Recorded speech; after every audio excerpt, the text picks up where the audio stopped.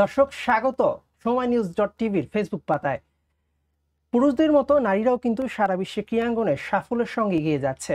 তারাও কিন্তু ছেলেদের মতোই সাফল্য বয়ে আনছে নিজ নিজ দেশের জন্য। তারই স্বীকৃতি স্বরূপ নিউজিল্যান্ড প্রথমবারের মতো পুরুষ ক্রিকেটারদের সমান পারিশ্রমিক দিতে যাচ্ছে নারীদের, যা কিনা নারীদের জন্য নিশ্চিতভাবে অনেক ভালো একটা খবর। এ বিষয় নিয়ে আমরা আলোচনা করব আজকে। সঞ্চালনায় আছি আমি মেহেদি নাইম এবং আমার সঙ্গে আছেন সহকর্মী ইস্তিয়াক দীপু দীপু কেমন আছেন? ভালো আছি নাইম অবশ্যই আসলে যেটি নিয়ে আলোচনা করছিলেন যে আসলে নিউজিল্যান্ড ক্রিকেট ইতিহাসে এটা একটা স্মরণীয় দিন একটা ঐতিহাসিক দিন। এতে কিন্তু কোনো সন্দেহ নেই নাই। আপনি জানেন যে নিউজিল্যান্ডের নারী ক্রিকেটাররা কিন্তু খুব ভালো ক্রিকেট খেলছিল এবং সেটিরই কিন্তু যে প্রাপ্তি যেটা আসলে সেটি কিন্তু আজকে নিউজিল্যান্ডের নারী ক্রিকেটাররা পেল। ডেফিনেটলি শুধু নিউজিল্যান্ডের নারী ক্রিকেটারদের কথা বলব না যে এটা দৃষ্টান্ত হয়ে থাকবে অন্যান্য দেশের আহ, নারী ক্রিকেটারদের জন্য। আপনি জানেন যে বেশ কয়েকটি দেশের বলা যায় যে নারী ক্রিকেটাররা কিন্তু এখন বিশ্ব অঙ্গনে ক্রিকেট খেলছে।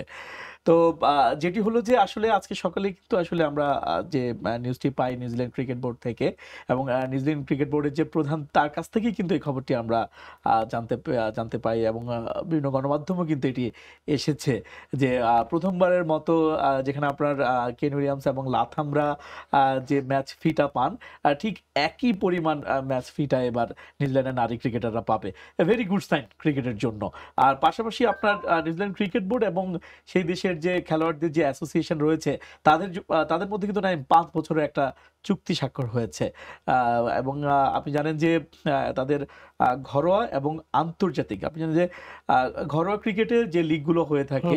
এবং যে টুর্নামেন্টগুলো হয়ে থাকে পাশাপাশি আন্তর্জাতিক যে ম্যাচগুলোতে প্লেয়াররা পার্টিসিপেট করে থাকে আহ, দুটোতেই কিন্তু যে ম্যাচ ফিটা সেই ক্ষেত্রে পুরুষ ক্রিকেটাররা এবং নারী ক্রিকেটাররা সমানভাবে পাবে।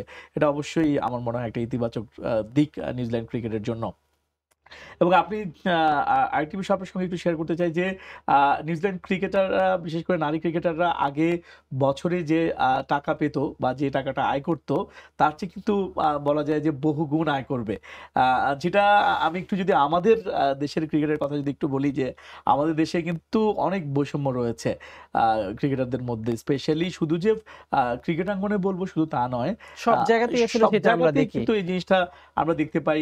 আপনি জানেন কিছুদিন আগেও কিন্তু আমাদের নারী ফুটবলাররা মালয়েশিয়াকে হারিয়েছে এবং মালয়েশিয়ার বিপক্ষে কিন্তু দুই শূন্য সিরিজের যে ফুটবল ম্যাচ ছিল সেখানে কিন্তু আমরা সেই সিরিজ এক শূন্যতে জয়লাভ করেছি। এবং আমাদের বর্তমান সময়ে কিন্তু নারী ফুটবলাররা কিন্তু খুবই ভালো ফুটবল খেলছে অনেক সাফল্য বয়ে আনছে। এবং সবশেষ আপনি জানেন যে গেল ডিসেম্বরে আন্ডার নাইনটিনে যে সাব চ্যাম্পিয়নশিপ সেটিও কিন্তু আমাদের নারী ক্রিকেটার নারী ফুটবলাররা কিন্তু জয়লাভ করেছিল। এবং পাশাপাশি কিন্তু আপনার নারী ক্রিকেটারদের কথা বলব তারা। সবশেষ অস্ট্রেলিয়াতে যে বিশ্বকাপ হয়েছিল সেখানেও কিন্তু তারা ভালো পারফরমেন্স করেছে পাকিস্তানকে হারিয়েছিল। এবং আরও যে ম্যাচগুলো ছিল সেগুলোতেও কিন্তু খুব প্রতিদ্বন্দ্বিতা করে তুলেছিল। সব মিলিয়ে আমার মনে হয় যে আমাদেরও কিন্তু এখন সময় এসেছে যে, আমাদের দেশের নারী ক্রিকেটার যারা রয়েছে বিসিবি কিন্তু চাইলেও কিন্তু পারে। এটা কিন্তু পসিবল যেহেতু আপনি জানেন যে, বাংলাদেশ ক্রিকেট বোর্ড কিন্তু বিশ্বের অন্যান্য কয়েকটা ক্রিকেট বোর্ডের মতোই কিন্তু মোটামুটি একটা ভালো রিচ লেভেলে রয়েছে।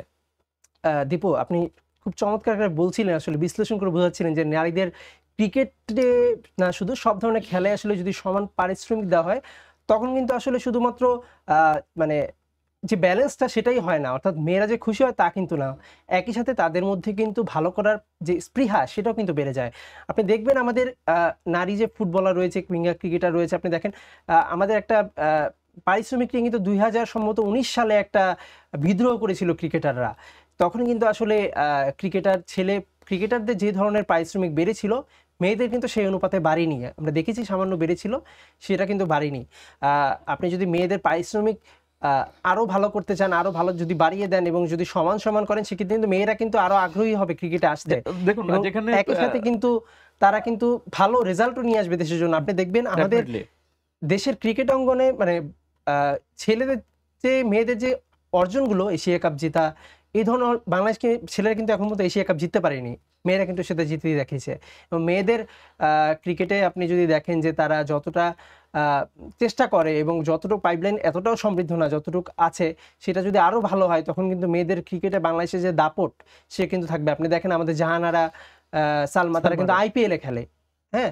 সুতরাং এরকম যদি আরও কিছু প্লেয়ার আমরা বের করতে পারি এবং পারিশ্রমিক যদি সমান হয় সেক্ষেত্রে কিন্তু আসলে দেশের যে ক্রীড়াঙ্গনে যে মানে বৈষম্যটা আছে নারী এবং পুরুষের ক্রিকেটাতে সেটা সম্ভব। যদিও এখানে একটা কথা আছে দীপু নিউজিল্যান্ড নিঃসন্দেহে একটা ধনী ক্রিকেট বোর্ড এবং তাদের দেশের ক্রিকেটের যে পাইপলাইন যে একটা তাদের ক্রিকেটের যে ইনফ্রাস্ট্রাকচার হ্যাঁ infrastructure এবং তারা যে গুছিয়ে এই পাইপলাইনটা গোছানো এবং তাদের টেক কেয়ার করাটা এটা কিন্তু খুব ভালো মতো করতে পারে।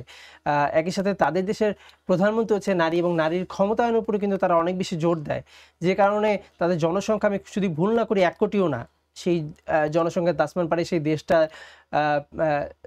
সরকার চাচ্ছে এবং বোর্ড মিলিয়ে আসলে যেই উদ্যোগটা নিয়েছে যে আমি একটু যোগ করতে চাই আপনার সঙ্গে যে আজকে সকালে দেখেছি যে নিউজিল্যান্ডের নারী ক্রিকেটাররা এবং নিউজিল্যান্ড ক্রিকেট বোর্ডে যারা রয়েছে বা নারী ক্রিকেটার যারা রয়েছেন আহ, প্রত্যেকেই কিন্তু মানে ভেরি স্যাটিসফাইড যে আসলে এই যে সমপর্যায়ে বা সমান বেতন পাওয়া।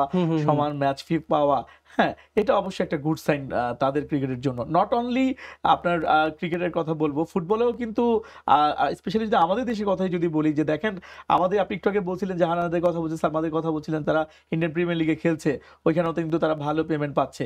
হ্যাঁ, তো সেই ক্ষেত্রে আপনি দেখেন যে আপনার আমাদের ফুটবলাররাও কিন্তু ভালো খেলছে। আর যেখানে আমাদের পুরুষ ফুটবলাররা মালয়েশিয়ার কাছে। হেরে এসেছে বা আমরা এশিয়ান কাপ বাছাই দেখেছি। সেখানে হ্যাঁ, ছয় শূন্য গোলে হারিয়ে দিয়েছে। আমরা মালয়েশিয়ার ন্যাশনাল টিমকে হারিয়েছি। তো সব মিলে আমাদের নারী ক্রিকেটারদের পাশাপাশি নারী ফুটবলাররাও কিন্তু ভালো করছে। শুধু তাই নয় আপনি অন্যান্য ডিসিপ্লিনের কথা যদি দেখেন যে আমাদের ভারত তুলনায় যদি দেখেন মাবিয়া। সীমান্ত তিনি কিন্তু এসএ গেমস এর স্বর্ণ পদক জয়ী এছাড়া আপনি যদি টেবিল টেনিসের কথা বলেন গত মাসেই আপনার মালদ্বীপে হয়েছিল আপনার টেনিস একটা টুর্নামেন্ট হয়েছিল। হ্যাঁ। সেখান থেকেও কিন্তু আমাদের শুধু তাই না স্বর্ণপদক দীপু আমাদের করেছিল। ক্রীড়াঙ্গনের সবচেয়ে বড় অর্জন কিন্তু একটা নারী। আপনি একটু হয়তো ভুলে আহ, অলিম্পিক শেষবার যে অলিম্পিক হলো সেখানে বাংলাদেশের দ্বিতীয় রাউন্ড উঠেছিলেন দিয়া সিদ্দিকী যা কিনা বাংলাদেশের ক্রীড়া ইতিহাসে সবচেয়ে বড় অর্জন। হ্যাঁ কারণ আমরা কখনো দ্বিতীয় পর্যায়ে অলিম্পিকে যেতে পারিনি কোনো টুর্নামেন্টে না কোনো কিছুতেই না। সেখানে দিয়া সিদ্দিকী কিন্তু দ্বিতীয় রাউন্ড পর্যন্ত উঠেছিলেন। সেটাও কিন্তু একটা মেয়ের হাত ধরে। অর্থাৎ মেয়েদের কিন্তু আসলে কোনোভাবেই তাদের শ্রমকে যে মূল্যায়ন করা এবং ছোট না করে তাদেরকেও যে তারাও যে অনেক পারে। জি এইটা আসলে এই জিনিসটা চর্চাটা নিউজিল্যান্ড শুরু করেছে আমার মনে হয় যে আস্তে আস্তে অন্যান্য দেশ এবং অন্যান্য আমি যেটা বলছিলাম যে একটা এক্সাম্পল কান্ট্রিগুলো শুরু করতে পারে। ভালো দৃষ্টান্ত। একটু আরেকটা ব্যাপার একটু আপনার সঙ্গে শেয়ার করতে চাই যে যেটা ক্রিকেট ইনফোতে আমরা দেখেছি যে আপনার নতুন এই চুক্তি অনুযায়ী নিউজিল্যান্ডের শীর্ষ নারী ক্রিকেটাররা বছরে সর্বোচ্চ এক লাখ তেষট্টি হাজার দুইশো ছেচল্লিশ নিউজিল্যান্ড ডলার বাংলাদেশি মুদ্রায় প্রায় চুরানব্বই লাখ একানব্বই হাজার টাকা আয় করতে পারবেন বছরে। শুধু তাই না চুক্তি তালিকায় একটু নিচে থাকা যারা ক্রিকেটাররা রয়েছেন তারাও কিন্তু একেবারেই যে খারাপ পাবে তা না তারাও কিন্তু আশানুরূপ আয় করতে এবং সেটাও আমাদের আমাদের ন্যাশনাল টিমের প্লেয়ারদের চাইতেও বেশি তাদের ঘরোয়া Definitely, টুর্নামেন্টে এবং আপনি দেখেন যে তালিকায় নবম শীর্ষ নারী ক্রিকেটার বছরে এক লাখ আটচল্লিশ হাজার নয়শো ছেচল্লিশ নিউজিল্যান্ড ডলার বাংলাদেশি মুদ্রায় প্রায় ছিয়াশি লাখ উনষাট হাজার টাকা। আয় করতে পারবেন। আর শততম নারী ক্রিকেটারের বার্ষিক আয় দাঁড়াবে এক লাখ বিয়াল্লিশ হাজার তিনশো ছেচল্লিশ নিউজিল্যান্ড ডলার।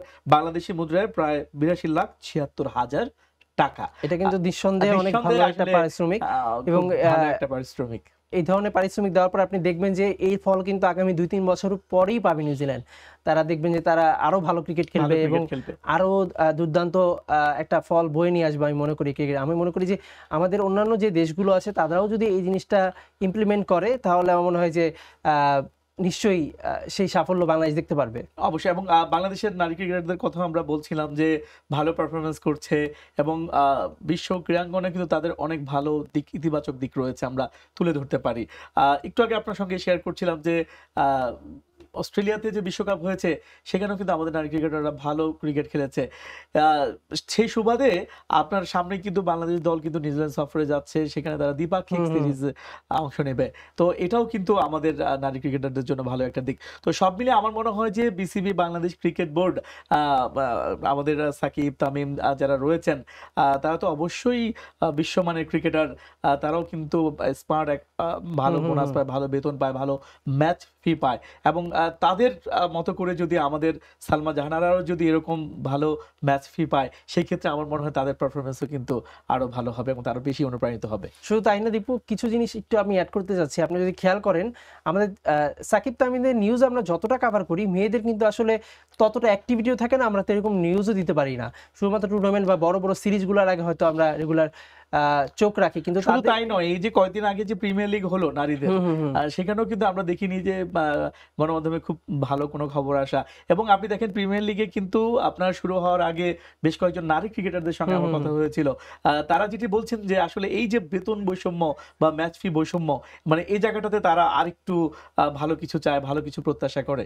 ইতিবাচক কিছু তারা চায় বোর্ডের কাছে। সুতরাং আমি মনে করছি দিবু ভাই যে এখন যে সময়টা এসেছে যে আমাদের ক্রিকেট বোর্ড তারা নারীদের দিকে যথেষ্ট আগের ছিল যথেষ্ট পরিমাণে এখন বেশি কেয়ারিং হয়েছে এবং আরও যদি আমরা বেশি কেয়ার করতে পারি তাহলে কিন্তু আমাদের পাইপলাইনটা কিন্তু আরও সমৃদ্ধ হবে এবং তারা কিন্তু আরও সিকিউর ফিল করবে এবং তারা একই সাথে কিন্তু তারা সম্মানিত বোধ করবে তাদের যদি আমরা স্যালারি এবং অন্যান্য যে সুযোগ সুবিধাগুলো আছে সেগুলো যদি আমরা দিতে পারি। অবশ্যই। এবং আপনি একটা জিনিস খেয়াল করে দেখেন যে আমাদের মিরপুর হোম অফ ক্রিকেটে কিন্তু অনেক ফ্যাসিলিটি বাড়াচ্ছে।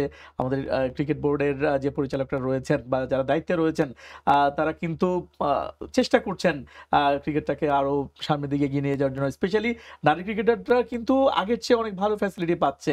আপনি দেখেন যে, এই কিছুদিন আগে কিন্তু আমরা নিউজে দেখেছি যে, আমাদের যে একাডেমি মাঠটা রয়েছে মিরপুর একাডেমি যে মাঠটা রয়েছে, যেখানে প্র্যাকটিস করে সবাই সেখানেও কিন্তু ফ্লাড লাইটের আলো হবে, সেখানে আরও অনেক ফ্যাসিলিটি কিন্তু যোগ হবে।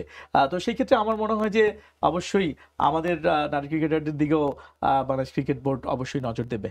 ধন্যবাদ দীপু আপনি অনেক চমৎকারভাবে কথা বলছিলেন। আগামী কোনো পর্বে আবারও আমরা এই বিষয় নিয়ে কথা বলব। অনেক ধন্যবাদ দর্শক এতক্ষণ আমরা কথা বলছিলাম আসলে নিউজিল্যান্ড সাম্প্রতিক সময়ে নারী এবং পুরুষ ক্রিকেটারদের কিন্তু সমান পারিশ্রমিক দিচ্ছে যেটা কিন্তু সত্যিকার অর্থেই একটা মাইল ফলক এবং ইতিহাসের একটা অংশ। আমাদের অন্যান্য ক্রিকেট বোর্ডগুলো যদি এইটা ফলো করে নিশ্চিতভাবেই কিন্তু মেয়েরা ক্রিকেটে আরও অনেক ভালো করবে। তো এই ছিল আজকে আমার কাছে এখান থেকে সবশেষ। সামনে কোনো পর্বে হাজির হয়ে যাব আবার নতুন কোনো টপিক নিয়ে। সে পর্যন্ত চোখ রাখুন সময় নিউজ ডট টিভির ফেসবুক পাতায়। ধন্যবাদ।